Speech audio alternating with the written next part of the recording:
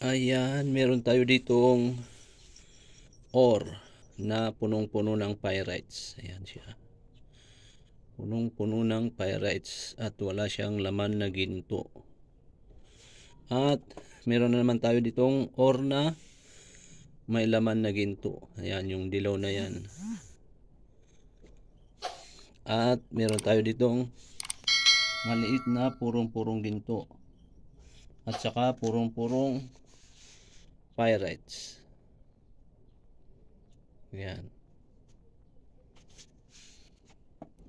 Yan ang ating i-experiment ngayong vlog na ito. Kaya abang-abang na at simulan na natin ang video. Ayun, good day mga kamukha. Nagbabalik again, Kiri35 Vlog. And for today's video is sasagutin muli natin ang mga nagtatanong about sa mga vlog ko about sa ginto uh, lalo-lalo na sa mga about sa pyrites and so marami pa rin nagtatanong about sa pyrites kung may laman ba daw ginto ang pyrites at kung ano ang pagkakaiba ng pyrites sa ginto. Okay, so tapusin mo ito kamukha para malaman mo at kung bago ka lang sa aking channel baka naman pwedeng pa-subscribe dyan at pa-like and share rin.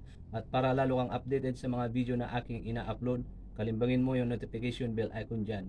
Okay, so diretso na tayo sa video. Alright, ayan, we're back. So, before natin start yung video, may hihingin lang akong pabor muli sa inyo. Ayan, hingi lang ako ng pabor na baka naman pwedeng uh, wag nyo pong escape yung mga ads sa uh, ads na lumalabas sa aking video. Ayan, kasi yung revenue ko po eh bagsak bag, bagsak na bagsak na po. Ayan, so hingi lang po ako ng pabor na baka pwedeng wag nyo pong escape yung mga ads na lumalabas dito sa aking video. Okay, so start na natin ang video at uh, ayan, meron tayo ditong uh, puro-purong pyrites. Ayan, marami nagtataka ay maraming uh, nanlilin lang dito akala ginto. Ayan, kumikinang kasi. Ayan, purong pyrites yan. So marami nag uh, nag-aakala na ginto ito kasi kumikinang siya.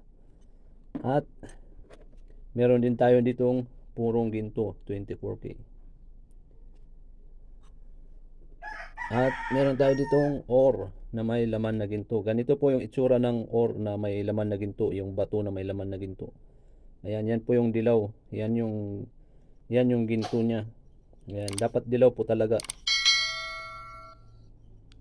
Ayan. Ayan. Tignan nyo po dyan sa ilog nyo, baka may mga ganito kayong bato. Ayan.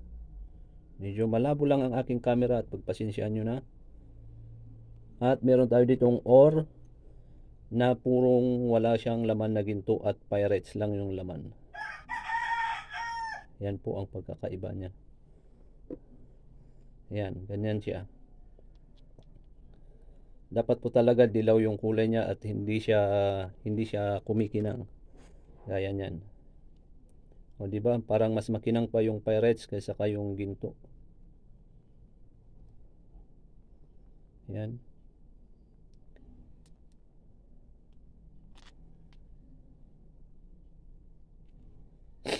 Nako po, may sipon pa ako.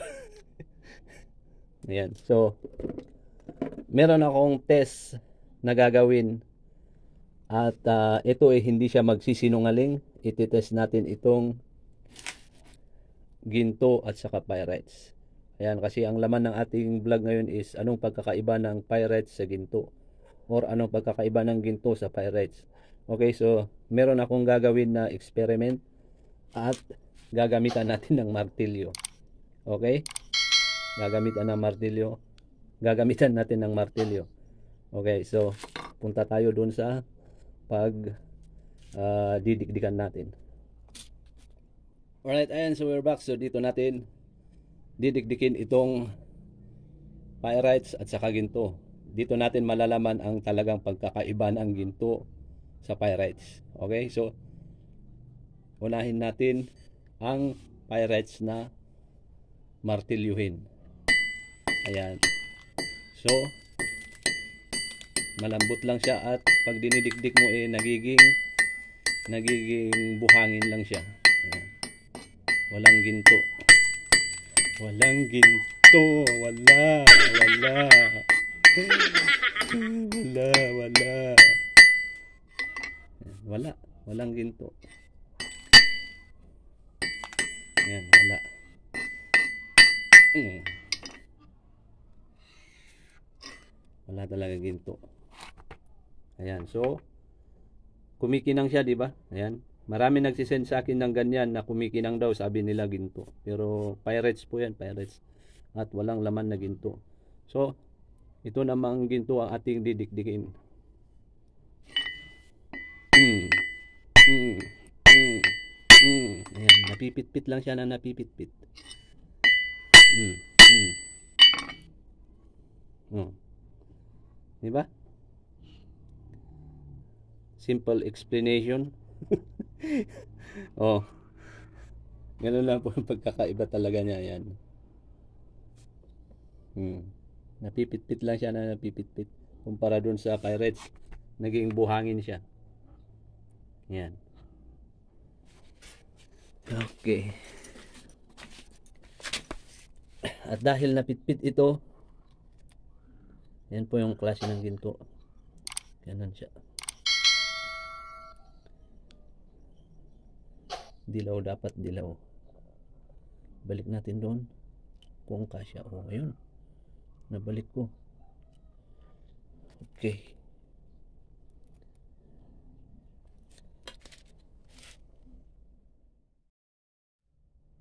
Alright, ayan. So, yun. Sana nakatulong tong video to kasi marami pa rin kasi nagtatanong about sa ganun, yung pagkakaiba ng pirates, anong pagkakaiba ng pirates sa ginto, may laman bang ginto ang pirates. So, may mga nagtatanong, may nag-PPM. So, mahirap mag uh, sumagot sa PM. Ayan, so, uh, ginawan ko na lang ng vlog at uh, sana malinaw at kung may iba pa kayong katanungan about sa vlog na ito o kaya sa mga video ko, Huwag pong mahiyang magtanong at mag-iwan ng comment.